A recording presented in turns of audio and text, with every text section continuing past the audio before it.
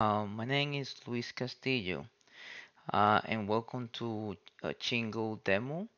Um, today we are going to show you uh, a demo to how to deploy an API uh, to, on render. Um, right now, what I have um, on my screen is an API, simple just an API that it's a CRUD uh, API that creates and items, uh, read items, um, update and delete.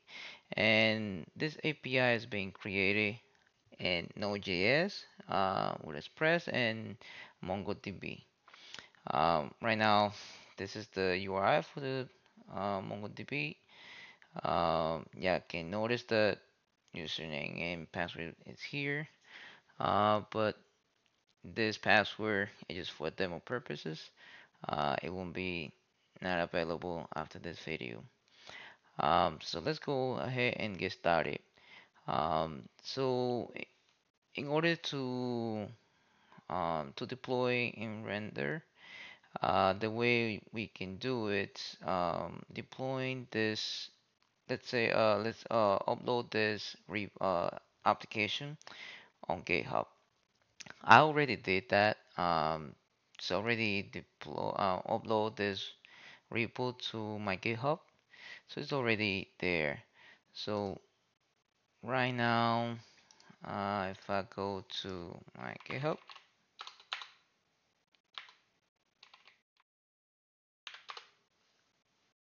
uh, and if I go to my repos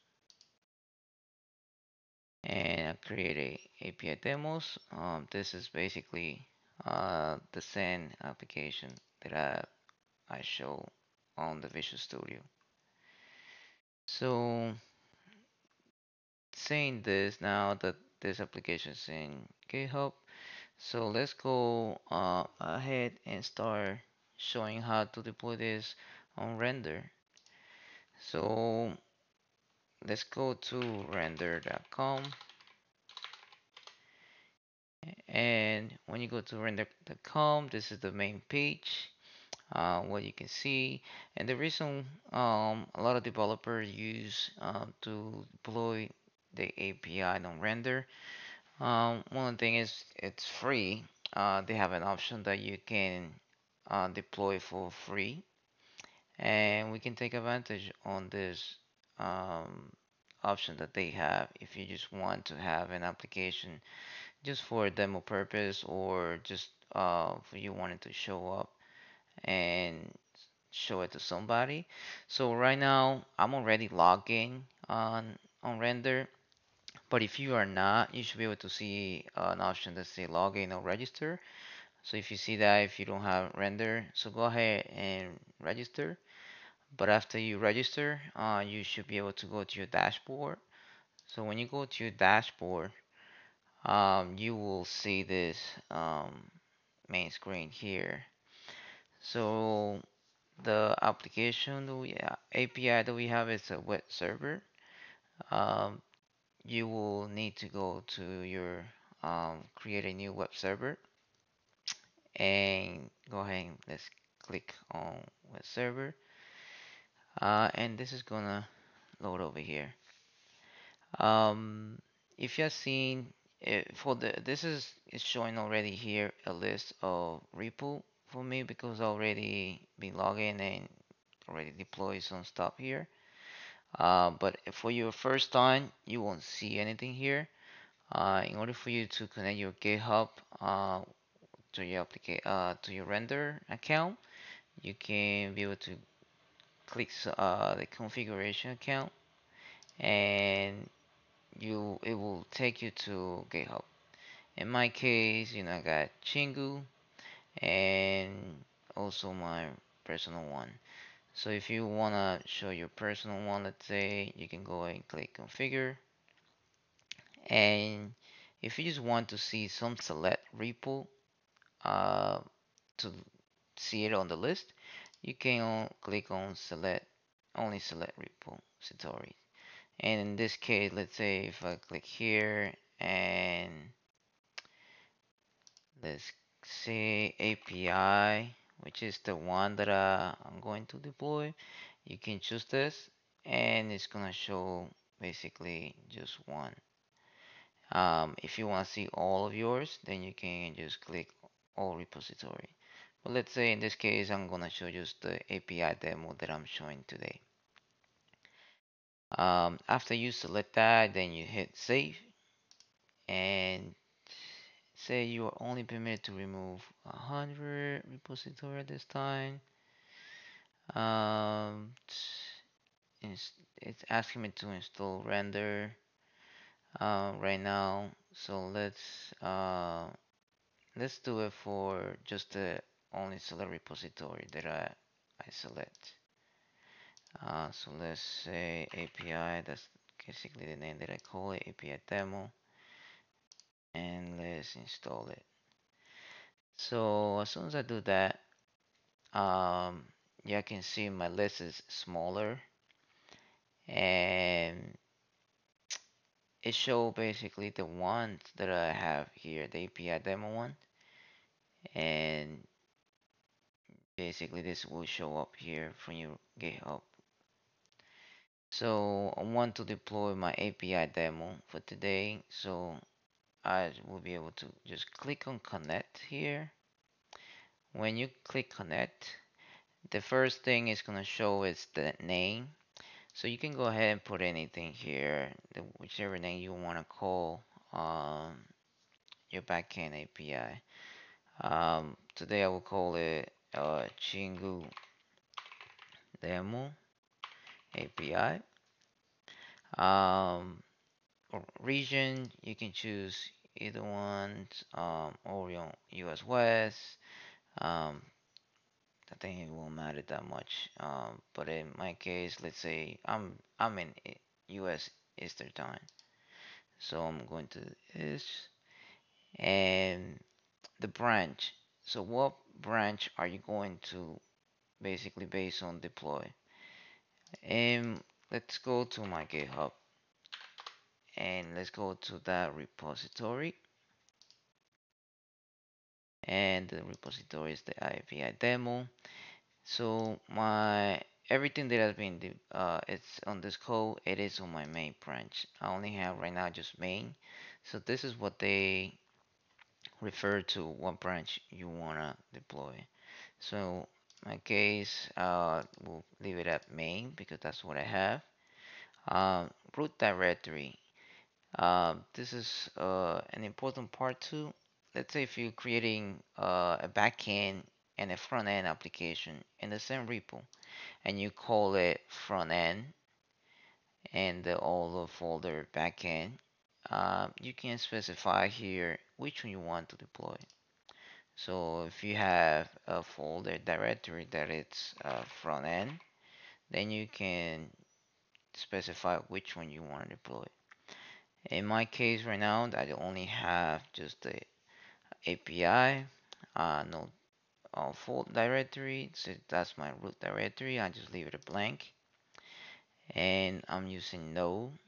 Um, if you're using Ruby, Python, any other ones, uh, just choose the one you need to. Um, the next one is um, build command.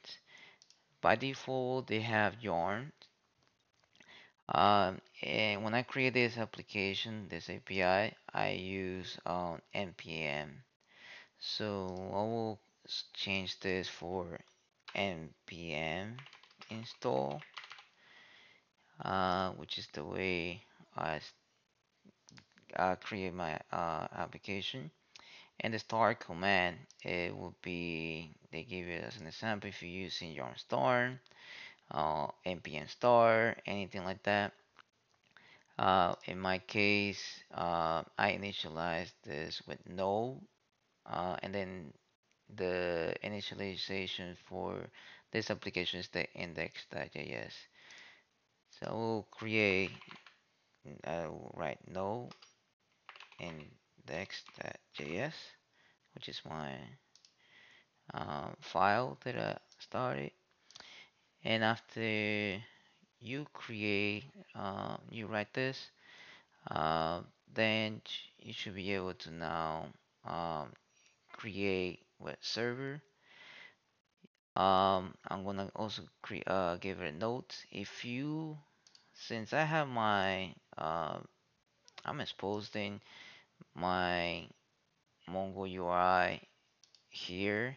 Typically, the correct way is to create an .env file where you can add this, um, and you don't have to expose it here. Uh, if you have something like that, you will have to go to the events and then add in, uh, environment variable, uh, which it will process uh, your .env file, and then you will be fine. In my case, I don't have any .env. This is the demo purpose for just how to deploy an API on render. Uh, so since I don't have anything, uh, I should be fine by just uh, create a web server. So creating a web server, uh, you right away you get a link uh, here with the name. You also start getting the deployment process and the status here um, is basically taking my last commit. I only have one, which was I call it first commit, and it's basically saying build successful. Now it's going to stage on deploying, let's wait. This take a few minutes um, to deploy.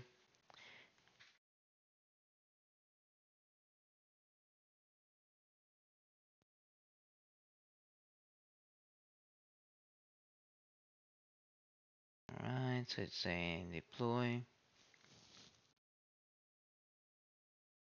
When you can see here, it's in progress. Started. Now saying starting server with no the command that I told it to do it. No index. Server is running on port 1000 and it's connected to my MongoDB. And it says your service is live. Uh, the status is live. With this mean it's um this API it should be working.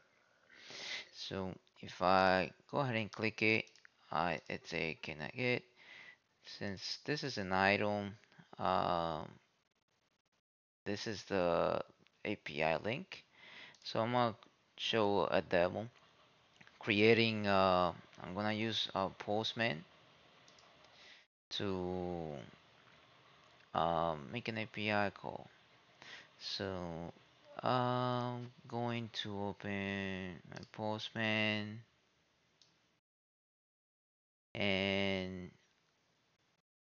let's take uh, this API here.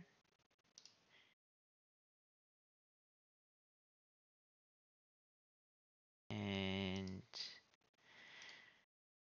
let's change this here. And then the my post um, API it's on items so I will call items here and then, what you do I'm gonna go ahead and go to my you know my body's already here and create my JSON. Um, let's say the first item I'm gonna create will be I'm gonna be a name and it's gonna call it Chingu and description um, Chingu developer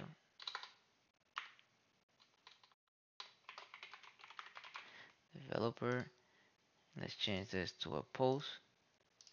And let's test it now so if I go and hit send and great. It's being status 200 it's being created successful.